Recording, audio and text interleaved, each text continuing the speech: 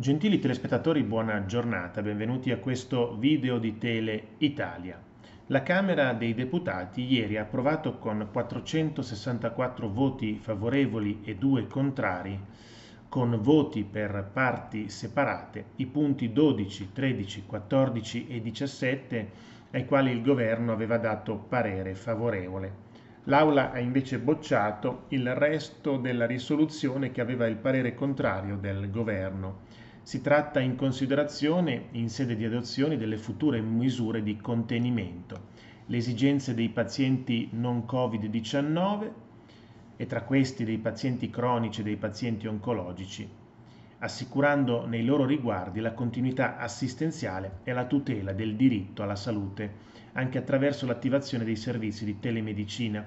È stato preso l'impegno a tutelare da qui fino al termine dell'emergenza i lavoratori fragili, le persone con disabilità fisica, sensoriale, relazionale o intellettiva, i rispettivi familiari, assicurando loro un adeguato sostegno economico e assistenziale anche a livello domiciliare, affinché la progressione della pandemia e l'applicazione delle misure di contenimento non determinino ulteriori regressioni, discriminazioni o isolamenti. Questa è una parte delle delle proposte del centrodestra approvate, via libera anche a interventi mirati e appropriati alle diverse fragilità, al fine di non isolare ulteriormente bambini, ragazzi e persone con disabilità, in particolare intellettive, potenziando in modo adeguato l'assistenza sociosanitaria domiciliare, nell'ottica di prevenire e assistere in sicurezza, consentendo anche a chi svolge attività domiciliare di usufruire di test rapidi a tutela sia propria che dell'utenza. Poi il punto 17 riguarda la sicurezza delle scuole con l'applicazione dei termoscanner all'ingresso delle strutture scolastiche o delle classi per monitorare la temperatura di alunni e personale, con l'allestimento di tensostrutture da dedicare alle scuole per aumentare gli spazi disponibili e con interventi straordinari di edilizia scolastica per adeguare gli ambienti di apprendimento alle disposizioni di sicurezza. Questi che vi ho elencato sono i punti 12, 13, 14, 17 approvati dalla Camera dei Deputati quasi all'unanimità. Voi sapete che il, il, governo sta chiedendo adesso al centrodestra di collaborare dopo che per otto mesi il centrodestra è stato inascoltato totalmente e completamente.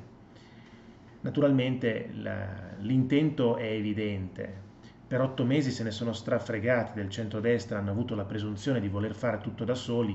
Adesso che cos'è che li spinge a eh, cercare il centrodestra? È ovvio, ma l'opposizione, Salvini, Meloni e Berlusconi l'hanno capito perfettamente. Il governo sta cercando di tirar dentro il centrodestra nel precipizio. Quindi il centrodestra che ha capito questo sta cercando di muoversi con i piedi di piombo per non far sì che l'opinione pubblica cada nel tranello zingarettiano di credere che la crisi sanitaria incontrollabile con tutti gli errori enormi fatti in questi mesi, la crisi economica, vedi il bonus monopattini, biciclette, e la crisi poi sociale con le piazze, dove per la prima volta nella storia d'Italia scende estrema destra e estrema sinistra uniti contro il governo.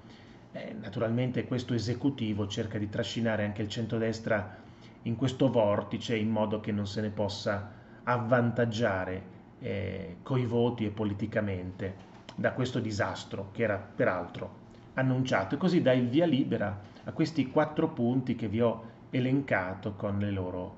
Eh. Il centrodestra chiede anche un sì ai voucher, oltre a chiedere la tempestiva pubblicità dei verbali del Comitato Tecnico Scientifico, assicurando un dialogo costante dello stesso anche con i rappresentanti del mondo produttivo e lavorativo. Il centrodestra vorrebbe arrivare alla sospensione del decreto dignità e alla reintroduzione dei voucher per tutti i settori, compresi i voucher familiari, per dare alle imprese la possibilità di sostituire la forza lavoro assente perché contagiata dal virus o in quarantena e proseguire la propria operatività. Naturalmente su questo non è stato ascoltato il centrodestra, hanno, hanno preso quattro punti giusto per far capire eh, c'è la volontà, noi approviamo le vostre proposte dopo che per otto mesi oltre 2000 proposte del centrodestra sono state assolutamente eh, cestinate senza neanche essere ovviamente lette.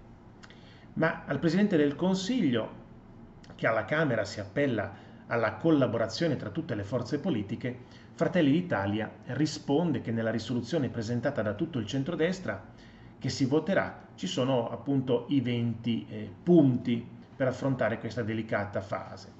La leader di Fratelli d'Italia ha ricordato alcune richieste avanzate, tra cui la garanzia dell'addebito diretto dei ristori sui conti correnti di tutti i lavoratori, anche autonomi, danneggiati dalle nuove limitazioni e l'assicurazione di un rimborso del 75% del fatturato mensile dichiarato nel 2019 per imprese con meno di 50 dipendenti. La Presidente di Fratelli d'Italia ha pertanto lanciato un appello. Se il richiamo alla collaborazione è reale, lo vedremo come PD e 5 Stelle voteranno sulle proposte di buonsenso che il centrodestra ha messo nero su bianco.